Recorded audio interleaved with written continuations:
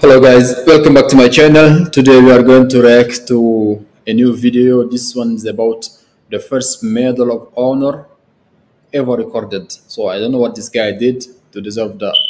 But before we start the video, do not forget to leave a like if you enjoyed the video, comment on what you want to see next, and subscribe to the channel for more content. And thank you for the support. Let's get into it. Chapman, a U.S. Air Force combat controller, and the SEALs are attempting to rescue their lost teammate.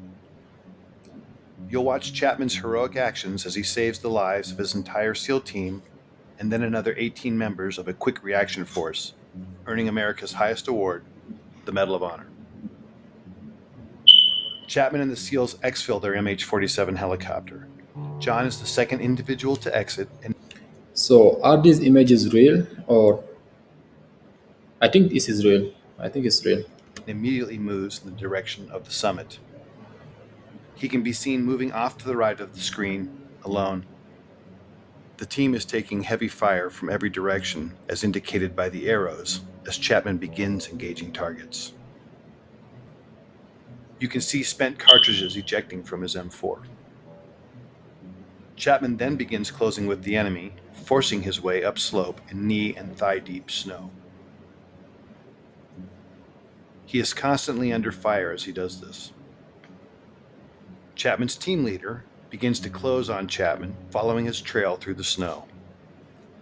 So wait, Chapman wasn't even the team leader. I thought he was the team leader. That's why he went alone to fight back. And which war was this? I think I saw 2002 there. Was it was this Iraq or Afghanistan? I'm not sure.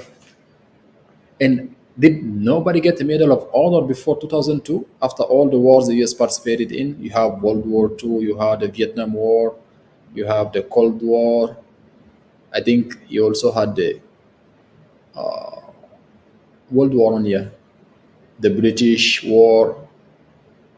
That's crazy. The dark mass above Chapman is a fortified bunker containing two enemy fighters, each armed with AK 47s, who are firing down on the team in the darkness. This bunker will come to be known as Bunker Number One. To the left of the tree and Bunker 1 is another gray mass. This is a rock outcropping that came to be called the Boulder. Between Bunker 1 and this boulder can be seen the body of slain SEAL Neil Roberts, the man Chapman and the others are attempting to recover.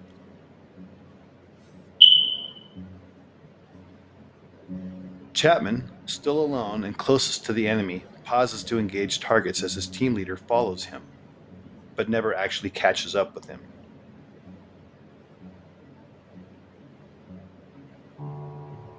Chapman, on his own, now makes the decision to charge directly into the enemy bunker despite withering point blank fire.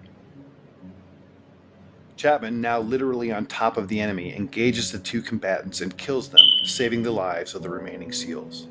He does this from a distance of no more than 10 feet. These actions by themselves earned him his first Medal of Honor. He then climbs into and takes control of the bunker. Having cleared the immediate threat, Chapman is then joined by his team leader in Bunker 1. You can then see Chapman and his team leader engaging the next bunker, known as Bunker 2, which is situated to the left edge of the screen. This bunker, manned by a handful of Chechen and Uzbek fighters, also contains a heavy Oh, Chechen and Uzbek, that's in Europe, right? Chechnya and Uzbekistan, that's in you. What is it in Central Asia? I'm not sure, bro. Which war was this? Because I, I don't know of any war that happened between the US and the Chechens and or Uzbekistan. heavy PKM machine gun, hand grenades, and rocket propelled grenades. John Chapman is shot twice at this time in the torso and collapses, incapacitated.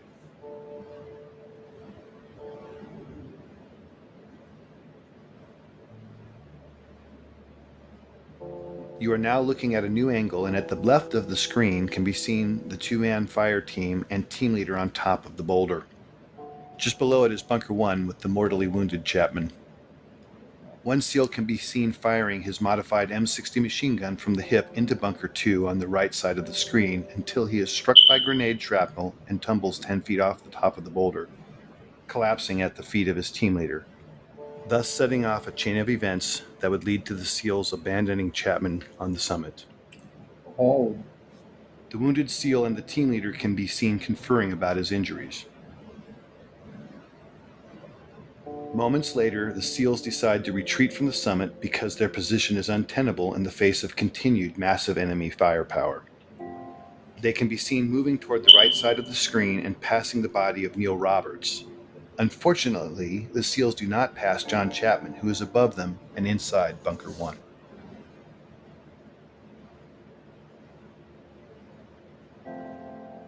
This angle shows three SEALs in a triangle. The larger black heat signature is a smoke grenade. Just to its left is a donkey and dead Al Qaeda fighter killed by Chapman.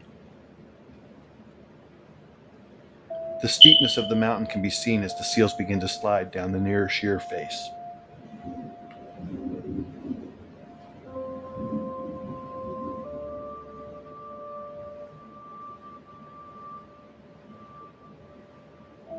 The team leader, desperate for relief and now with two wounded teammates, asks for uncontrolled airstrikes from an orbiting Air Force AC 130 gunship. The impacts you see are from 105 millimeter howitzer rounds being fired onto the ridge top in order to save the remaining SEALs. Because neither the SEALs nor gunship know Chapman is alive, he is experiencing these detonations from his position. At approximately 5:20 in the morning, Chapman recovers and begins to engage the enemy. oh, Bunker 1 die? is on the right side center of the screen, and Bunker 2 to the left near the screen center. It will never be known what caused his incapacitation and recovery. Of the two rounds that originally wounded him, at least one was mortal, and at this time he is experiencing severe blood loss and shock. Despite that, he begins his one man stand against two dozen enemy combatants. Two dozen. During this time, Chapman initiates a series of radio calls, many of which are heard by a fellow combat controller and teammate of his and Delta Force operators on a nearby summit. Despite this combat controller's replies, Chapman never acknowledges whether because of damage to his equipment or himself will never be known. This new angle and footage shows Chapman at the top, identified by the green dot under the tree at Bunker 1. The lower center of the screen shows the first enemy fighter who is about to charge Chapman in the hopes of killing the American. The timestamp at the bottom shows it is now 6:05 in the morning and fully light. He's been fighting alone now for 40 plus minutes and has received more gunshot and shrapnel wounds as a result of the fierce combat. This scene shows the second of several enemy charges. In this stunning display of determination and courage, Chapman can be seen fighting hand to hand with the fighter. Hmm. On the larger screen display can be seen additional enemy moving on to the summit. But right now, John Chapman is fighting for his life. Six minutes later, in this new shot, Chapman can hear another helicopter approaching the summit. He is in the bottom center of the So he killed the guy who went alone to fight him? Hand to hand combat? screen underneath the tree and can be seen in the magnified inset box as he begins his desperate final stand to save the lives of the 18 men on the helicopter. The red dots are enemy fighters. John begins engaging the enemy in multiple directions and is rapidly approaching the last of his ammunition. The helicopter contains a quick reaction force comprised of rangers, pararescuemen, and another combat controller. It is now 6:13 and the helicopter is short final. The enemy is desperately trying to displace Chapman so they can put heavy weapons or rocket propelled grenades in Bunker 1 while simultaneously engaging the helicopter.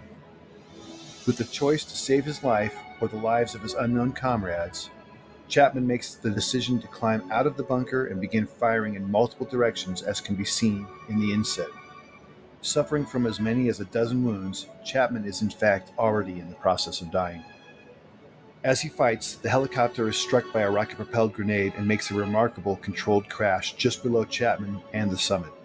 Chapman, now off screen, continues to cover his comrades as they pour out of the stricken helicopter. Some of them are fatally shot as they exit. These images, with Chapman fighting the enemy at close quarter, are the last to show him alive and in this heroic act, thus qualifying for his second Medal of Honor. Ultimately, Chapman would expend all but the last few rounds of his ammunition, until, finally, after 16 bullet and shrapnel wounds, Chapman succumbs when he is shot through the heart. We will never know his final thoughts or words, but what we do know is His decisions and actions single handedly saved the lives of 23 comrades. For more information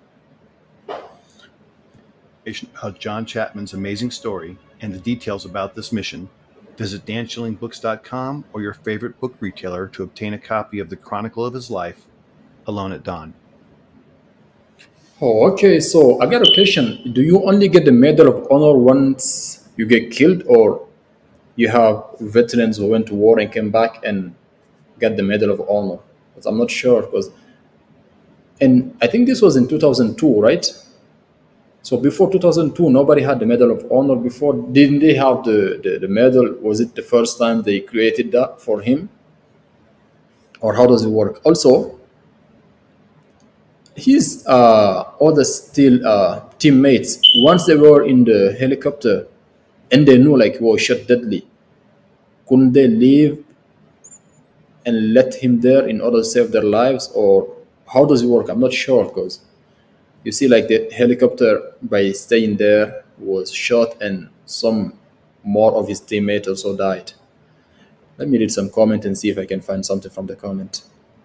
It took a shot through the heart to finally kill him down, take him down. He was definitely, he was the definition of a warrior. As a Marine, this breaks my heart, and I strive to have the level of courage this man displayed. Okay. He died for his brothers who left him behind to die alone. Yes, this man is a true hero. R.I.P. soldier. Yeah, because his team leader left him before, uh, how can I say it? Before he died, his team leader, I think, withdrawed and he stayed. I mean, let's be honest, at some point, if you know you're going to die, it's not everybody, but you have those people like the guy, the, the, the Canadian guy. What is his name? I don't even remember his name, but that guy was one crazy soldier. He liberated the whole town by himself. You have these people there. Let me end the video because this is so long already. If you're still here, please don't forget to leave a like, comment. If you're not, comment of what you want to see next and subscribe to the channel for more content. Until next time, peace out.